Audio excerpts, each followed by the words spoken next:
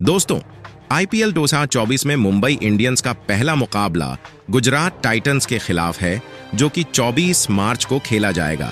और अपने पहले मुकाबले में शुभमन गिल की टीम गुजरात टाइटंस को कुचलने के लिए कप्तान हार्दिक पांड्या ने मुंबई इंडियंस की खतरनाक, मज़बूत फाइनल प्लेइंग 11 का ऐलान कर दिया है। जी हाँ दोस्तों, आपको बता दें, मुंबई इंडियंस के नए कप्तान हार्दिक पांड्या ने शुभमन गिल की टीम गुजरात टाइटंस को पहले मुकाबले में हराने के लिए एक से बढ़कर एक धुरंधर खिलाड़ियों और घातक गेंदबाजों को ही प्लेइंग 11 में खेलने का मौका दिया है। आपको बता दें कि इन दोनों ही टीमों के बीच ये मुकाबला गुजरात के नरेंद्र मोदी स्टेडियम में रखा गया है, जो 24 मार्च को खेला जाएगा। और हार्दिक की पलटन की प्लेइंग 11 इतनी ज़्यादा खतरनाक हो गई है, जिसे देखकर गुजरात के कप्तान शुभमन गिल के भी होश उड़े हुए हैं। तो दोस्तों, आखिर कप्तान हार्दिक पंड्या ने रोहित शर्मा, जसप्रीत बुमराह और सूर्य कुमार यादव के शुरू के मैचों से छुट्टी लेने के बाद कौन से 11 लड़ाकों को अपनी टीम में शामिल किया है? बताएँगे आपको पूरी जानकारी आगे इस वीडियो में। खबर की पूरी जानकारी के लिए वीडियो को लास्ट तक ज़रूर देखें। तो चलिए, अब आपको मुंबई इंडियंस की फाइनल प्लेइंग 11 के बारे में बता देते हैं, लेकिन उससे पहले दोस्तों रोहित शर्मा और हार्दिक पंड्या में से कौन मुंबई इंडियंस का कप्तान होना चाहिए था? नीचे कमेंट करके हमें अपनी कीमती राय ज़रूर बताना और पीएलजी इस वीडियो को एक लाइक और चैनल को सब्सक्राइब करके हमें अपना सपोर्ट ज़रूर दिखाए। और अगर आप सभी ने हमारे चैनल को सब्सक्राइब कर लिया है तो आप सभी का तहे दिल से धन्यवाद। दोस्तों क्रिकेट फैंस, मुंबई इंडियंस और गुजरात टाइटंस के बीच रोमांचक महामुकाबले का बेसब्री से इंतज़ार कर रहे हैं। क्योंकि दोस्तों, हार्दिक पांड्या, जो कि पहले गुजरात टाइटंस के कप्तान हुआ करते थे, अब मुंबई इंडियंस के कप्तान बन गए हैं। मुंबई इंडियंस ने रोहित शर्मा को कप्तानी पद से हटा दिया है और हार्दिक को कप्तानी की भाग दौड़ दे दी है। वही गुजरात टाइटंस के नए कप्तान शुभमन गिल है। अब देखने वाली रोमांचक बात यह होगी कि हार्दिक पांड्या अपनी एक्स टीम के खिलाफ किस तरह से प्रदर्शन करते हैं।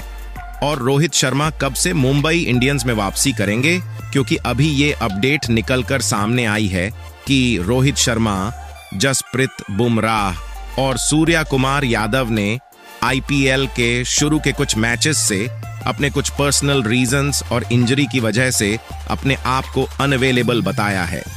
आपको बता दें अभी तक मुंबई इंडियंस और गुजरात टाइटंस दोनों टीमों के बीच में चार मुकाबले खेले गए हैं, जिसमें दो बार मुंबई की टीम ने बाजी मारी है और दो बार गुजरात की टीम ने।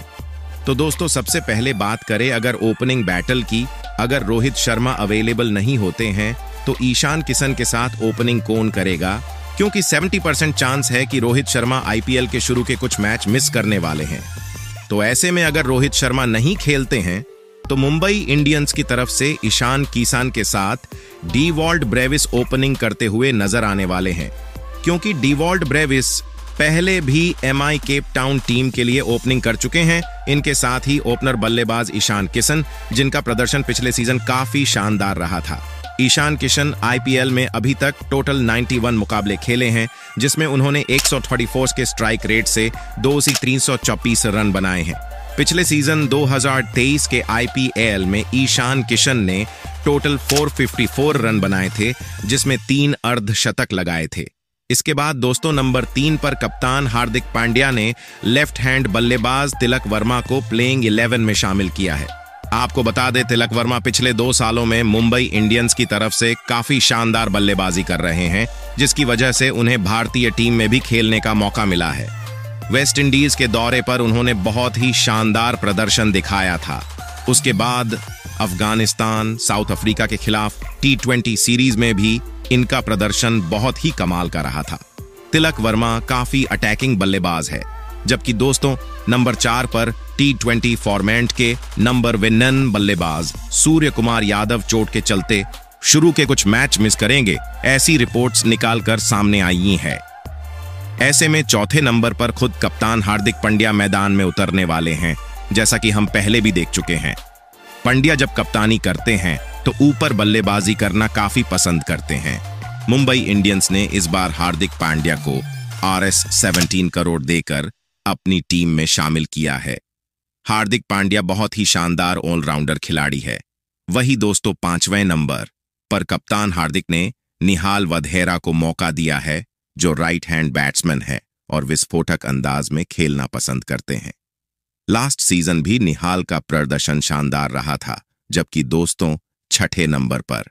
कप्तान हार्दिक पांड्या ने ऑस्ट्रेलिया के खतरनाक खिलाड़ी टिम डेविड को प्लेइंग इलेवन में शामिल किया है। पिछले सीज़न में टिम डेविड का प्रदर्शन बहुत ही लाजवाब था। लास्ट के ओवरों में टिम डेविड ताबड़तोड़ बैटिंग करके मैच को फिनिश करते हैं तो वहीं पर दोस्तों सातवें नंबर पर जी कोचसी को कप्तान हार्दिक ने प्लेइंग इलेवन में शामिल कर लिया है, जो साउथ अफ्रीका के खतरनाक युवा पेसर है और विकेट टेकर बॉलर है। इसके बाद आठवें नंबर पर आकाश मधवाल फास्ट बॉलर और नौवे नंबर पर दिलशान मधुशंका को मौका दिया है। वही दसवें और ग्यारहवें नंबर पर पीयूष चावला और श्रेयस गोपाल को मौका दिया गया है। बाकी आपके हिसाब से एमआई की प्लेइंग इलेवन में किस खिलाड़ी को मौका मिलना चाहिए? नीचे कमेंट करके हमें अपनी कीमती राय ज़रूर बताना।